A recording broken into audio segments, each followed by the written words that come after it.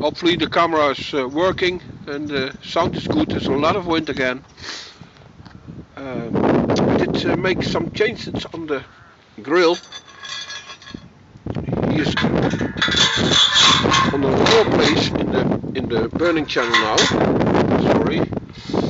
The ash tray tray is lower. So when I put this in there, the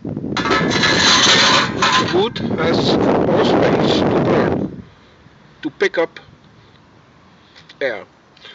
I did already a test burn and it was very good. The oven was more than 150 degrees without any uh, insulation. That's also good. Um, I take away the door because today he goes in the man cave on the chimney, sorry, and I have to make a lid on the wood input or air input, whatever you like to do.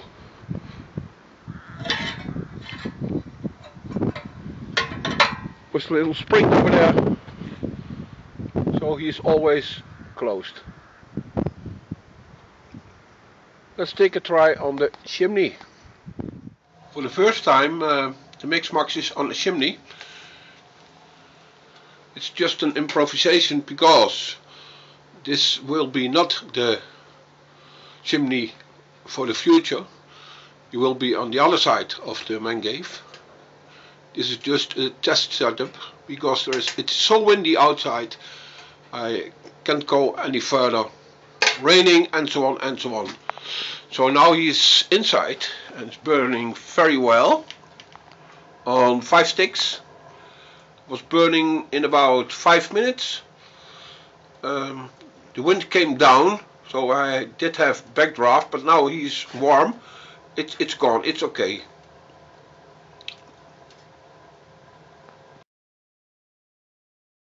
This is the fire uh, after about uh, 15 minutes. Very good.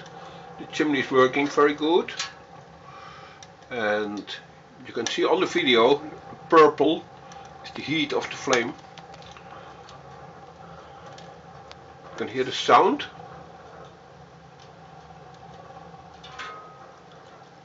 Falling down the wood is self-feeding. This is what I like. Little overview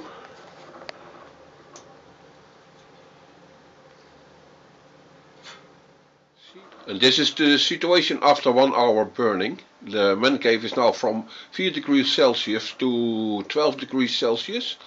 And that's very good. Now I have closed the lower air input. And I have opened up a little bit the top of the wood input. Now I like to adjust the air from the top. You see he's burning very well, very nice fire, very good fire. He's burning slow, he's red hot, inside and outside. And now I can adjust here, sorry for my finger, one hand video you know. Now I can adjust here the air input. Now he goes faster, you can hear him. I love it. Now he goes a little bit slower. And this is how I like to work. Okay.